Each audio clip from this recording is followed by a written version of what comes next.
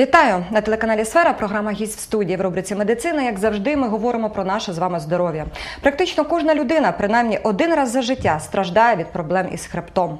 Ми завжди кудись поспішаємо, боїмося спізнитися. У нас хворіє спина, але ми продовжуємо бігти, бо в нас не вистачає часу звернути на цю проблему увагу. Проте такий ритм сучасного життя нерідко призводить до лікарняного ліжка. Тому, поки цього не сталося, спробуємо розібратися, що ж є наслідком патологічних змін хребта і як цього уникнути. Патологія хребта і суглобів та методи їх лікування тема сьогоднішньої розмови. Тому до нашої студії я запросила завідуючого ортопедо-травматологічним відділенням Рівненської обласної клінічної лікарні, голову правління Асоціації ортопедів травматологів Рівненської області, кандидата медичних наук Валентина Піонтковського. Піонтковський Валентин Костянтинович у 2001 році закінчив Буковинську державну медичну академію. З 2003 по 2007 роки лікар-ортопед-травматолог Хмельницької міської лікарні. З 2005 по 2009 роки навчався в аспірантурі на базі Інституту патології хребта і суглобів імені професора Ситненко АМН України в місті Харків. З 2007 по 2010 роки асистент кафедри травматології, ортопедії та нейрохірургії Буковинського державного медичного університету за сумісництвом лікар-нейрохірург нейрохірургічного відділення лікарні швидкої медичної допомоги в місті Чернівці. За час роботи лікарем-ортопедом запровадив багато інноваційних технологій лікування захворювань та травм хребта. З 2003 року є членом міжнародного товариства малоінвазивної та інструментальної хірургії хребта та міжнародного товариства ортопедів-травматологів. З 2010 року завідуючий ортопедо-травматологічним відділенням Рівненської обласної клінічної лікарні, головний позаштатний ортопед-травматолог обласного управління охорони здоров'я Рівненської ОДА. Пане Валентине, вітаю вас у нашій студії. Вітаю, дорогі глядачі. Які ж чинники призводять до захворювання хребта і суглобів? Ви знаєте, питання досить об'ємне, і напевно декількома речами про це не розкажеш. Однак, е, насамперед, е, звичайно, спосіб життя, е, спосіб харчування, певні матеріально-побутові умови мають прямий вплив на здоров'я наших суглобів та хребта. Люди з надмірною вагою, люди, котрі займаються активними види, видами спорту, люди, котрі ведуть певний сидячий спосіб життя, безумовно, є групою ризику для такої патології. Тобто неправильний спосіб життя призводить до патологічних змін, е, які згодом відбуваються у хребті і в суглобах, так? Е, Безумовно, Е, хочу зазначити, що з віком в кожної людини правильний вона спосіб життя буде чи неправильний, відбуваються певні вікові зміни як в суглобах, так і в хребті. Однак, ведучи правильний спосіб життя, можна максимально відстрочити ті чи інші захворювання і подовжити час роботи наших суглобів і нашого хребта. Яким чином це можна уникнути захворювань? Ну, безумовно, на одному з перших місць стоїть е, зайва вага. І е, люди, котрі страждають на ожиріння, безумовно, мають певні ну, надмірні навантаження на поперековий, на грудний відділ хребта і на великі суглоби, тобто це колінні, кульшові суглоби. Чим більше вага людини, тим більше ризик зношення так званого хрящової поверхні суглобів. І безумовно, рано чи пізно це призводить до ген- до дегенеративно-дистрофічних захворювань суглобів та хребта. Тобто, в основному люди, які мають надлишкову вагу, е, у них може виникнути патологічні зміни, так? Так, це одна з груп ризику. А ще які інші? е, Інша е, група ризику це є люди з е, сидячим способом життя або роботи. Тобто це люди, які працюють довго за комп'ютером, люди, які ну, мають якусь творчу професію. Людина в сидячому положенні рефлекторно ослабляє м'язовий корсет, і все навантаження переноситься на кісткові і хрящові структури хребетного стовпа. Саме тому е, таким людям необхідно пам'ятати, що періодично під час роботи, під час робочого дня необхідно змінювати положення, е, встати, пройтись і, е, звичайно, плавання і фізичні вправи для зміцнення м'язового корсету хребта повинні бути, ну, як, як правило, в їхньому житті щоденними. Тобто потрібно дозувати фізи- фізичні навантаження, так? Так. А що порадити людям, які навпаки, е, робота в яких пов'язана із фізичним навантаженням? Для людей фізичної праці так само є певні небезпеки у захворюваннях суглобів та хребта, адже надмірні навантаження на суглоби і хребет призводять так само до зношення міжхребцевих дисків, до зношення хряща. І е, безумовно, якщо людина відчуває якісь певні зміни, відчуває больові синдроми в поперековому відділі хребта або в суглобах, е, йому е, цьому пацієнту відповідно необхідно максимально швидко звернутися до лікаря для того, щоб визначити, які саме фактори, які чинники впливають на це. Е, Лікар підскаже. Він допоможе е, ну, якось адаптуватися до тої чи іншої фізичної праці, і, можливо, якщо це на ранніх стадіях захворювання, ну, е, постаратися призупинити його. А які симптоми на які симптоми потрібно звернути увагу, коли вже потрібно звертатися до лікаря? В яких випадках?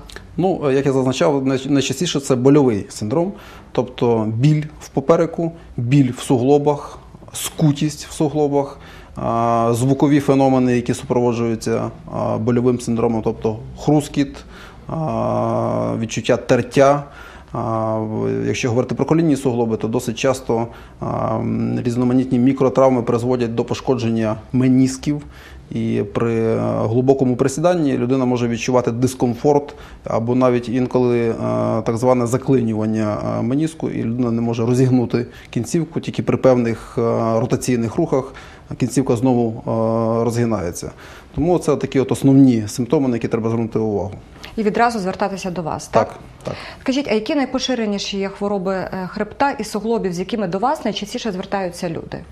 Найчастіше це є е, коксартроз, тобто е, артроз кульшових суглобів, гонартроз, тобто це артрозні зміни в е, колінних суглобах, остеохондроз поперекового відділу хребта, тобто це враження міжхребцевих дисків хребта, стеноз хребтового каналу.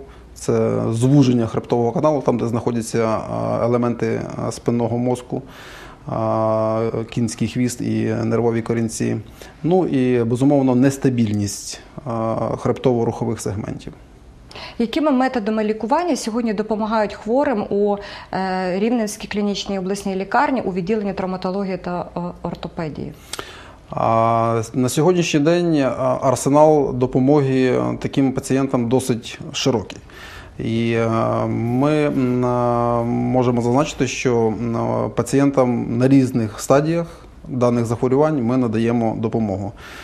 Як на початкових стадіях остеохондрозу або деформуючих артрозів, так і в термінальних стадіях, коли вже без оперативного лікування не обійтися.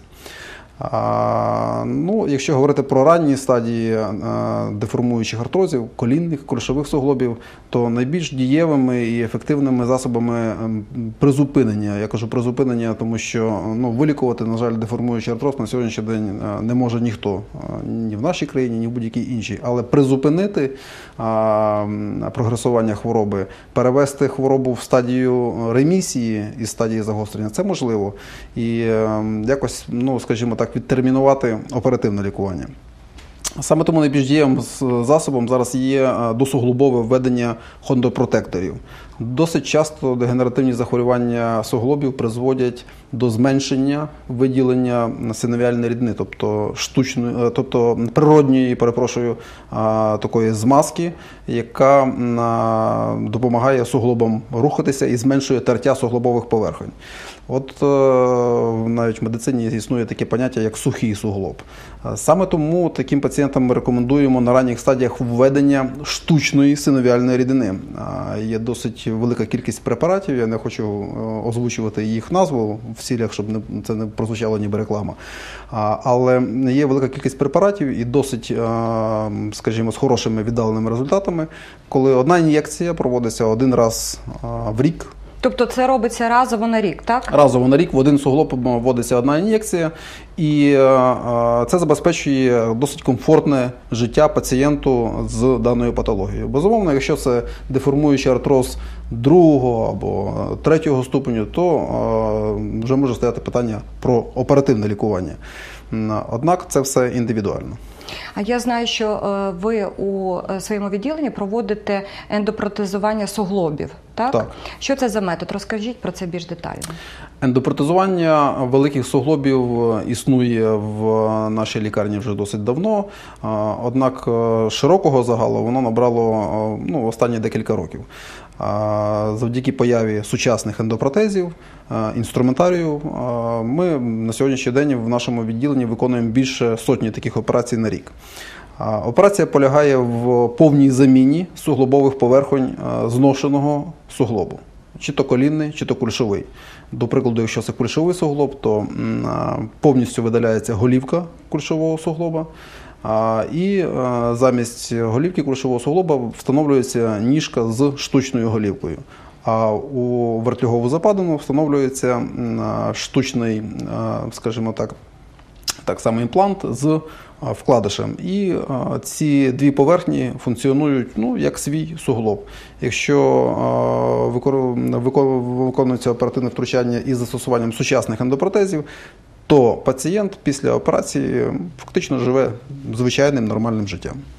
Тобто імпланти дозволяють відновити рухомість е, суглобів, так? Так, імпланти дозволяють е, відновити е, повний об'єм рухів у враженому суглобі, і імпланти дозволяють повністю нівелювати больовий синдром. Звичайно, інколи якісь дискомфортні відчуття десь інколи на певний період часу лишаються, але через декілька місяців після операції вони проходять. Пане Валентине, у нас є відеосюжет, який зняли наші журналісти, і мова йде у цьому відеосюжеті е, саме про методику е, ендопротезування великих суглобів. Я пропоную переглянути це відео. Пасивний спосіб життя, зайва вага, неправильно підібраний раціон і як результат проблеми з опорно-руховим апаратом. Найчастіше до лікарів звертаються люди з патологією великих суглобів, наприклад, плечових або колінних, дискомфорт, постійні болі або ж взагалі втрата працездатності. Чому це виникає, пояснюють лікарі. Кістка починає тертися об кістку. Це призводить до вираженого больового синдрому, і з часом він стає настільки нестримним, що хворий жодного дня не може е, знаходитись без знеболюючих препаратів. Саме тому сьогодні в нашому відділенні найпоширеніша операція, лікування даної недуги це е, ендопротезування кульшового суглоба. Під час операції здійснюють повну заміну голівки стегнової кістки на отакий протез. Ціна за імплантант коливається у межах від 10 до 40 тисяч гривень. В області нині функціонує обласна програма, в рамках якої виділяють кошти на забезпечення пацієнтів такими протезами. Проте нині цього недостатньо. Потреба в подібних операціях близько тисячі на рік. З них проводять лише 200. Причина банальна, матеріальна. Таку операцію нещодавно пережив і Віталій Ліпський, відомий загалу як голова громадської організації КВН Рівненщини. Операція пройшла цікаво, успішно. Чесно кажучи, я 5 років мучився з цією хворобою. Трошки побаювався, але якби я знав, що це не так страшно, то я б, мабуть, набагато раніше зголосився це зробити. Якщо я буду гарно, гарно слухняно виконувати все, що мені написали, то за півроку я і побіжу. Патологія хребта ще одна проблема, яка нині в ортопедичній галузі стоїть досить гостро. Це пов'язано з пасивним способом життя. Ризику піддаються ті, хто багато часу проводить за кермом авто чи комп'ютером. М'язевий корсет, який знаходиться на, з, по, позаду хребта, він е, має величезну, величезний вплив на, на здоров'я хребта. І як тільки м'язи, скажімо, послабляються, все навантаження переноситься на хребетний стовп. Це проявляється утворенням в ділянці міжхребцевих дисків випячування. Тобто вони е, дегідратуються, мається на увазі міжхребцеві диски, утворюються протрузії, а потім і кіли. Кіла в дійсності це є випячування міжхребцевого диска. Більше слідкуйте за собою, вам вдасться уникнути цього страшного слова патологія. Лікарі радять вести здоровий спосіб життя, займатися спортом, але без надмірних фізичних навантажень, контролювати свою вагу, поставу, людям старшого віку слідкувати за вмістом цукру в крові.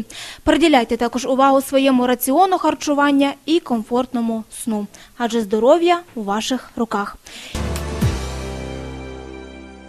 Для тих, хто щойно приєднався, нагадаю, гостем нашої студії сьогодні є завідуючий ортопедо-травматологічним відділенням Рівненської обласної клінічної лікарні Валентин Піонтковський. І ми говоримо про патологічні зміни хребта і суглобів та методи їх лікування.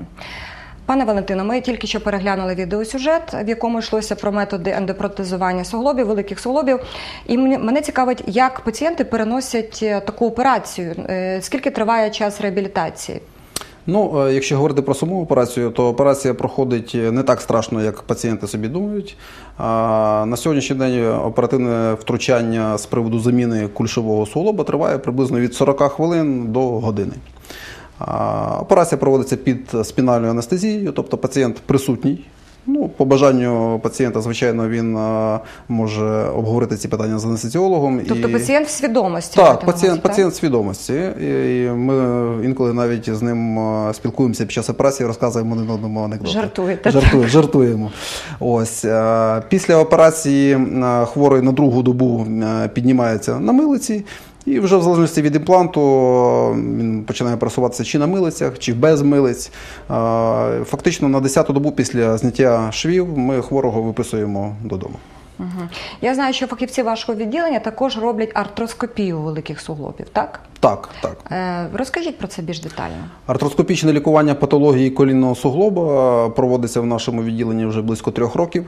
Ми виконуємо різноманітні оперативні втручання. Це і артроскопічну меніскектомію, це і артроскопічне відновлення схрещених передньої та задньої і бокових зв'язок колінного суглоба.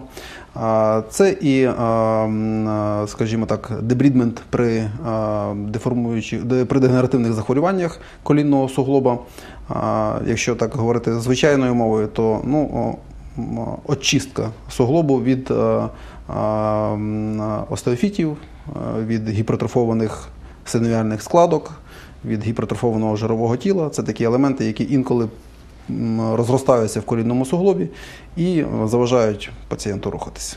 Тобто, в основному артроскопію великих суглобів роблять в тому випадку, коли е, пацієнт отримав якісь травми. Я так зрозуміла, правильно чи ні? Травми або захворювання. Є. Ну, зрозуміло. переважно, звичайно, це травми.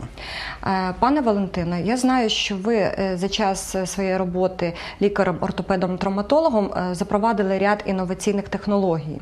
І в тому числі у Рівному саме ви вперше започаткували метод цементування хребців. Що це за метод?